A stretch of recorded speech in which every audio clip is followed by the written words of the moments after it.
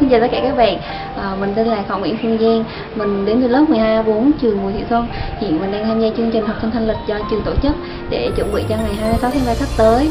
Mình hy vọng các bạn sẽ ủng hộ cho mình cũng như các thí sinh khác thật là nhiệt tình Để chúng mình có cơ hội đi tiếp vào vòng trong cũng như có thêm động lực để cho chúng mình chuẩn bị cho đêm diễn cuối cùng một cách tốt nhất.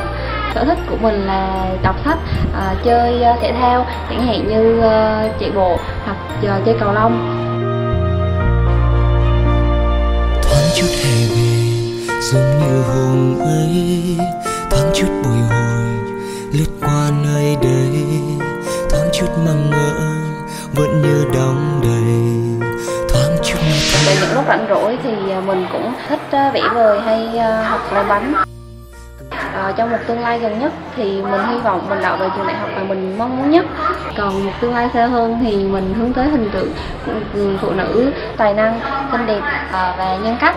Trên đây là tất cả những gì về bản thân mình. Nếu các bạn à, thấy thích thì các bạn có thể bình chọn cho mình à, và mình cũng cảm ơn các bạn rất rất nhiều để bỏ ra thời gian để nghe mình giới thiệu bản thân mình. Chúc các bạn có một ngày thật là tốt lành.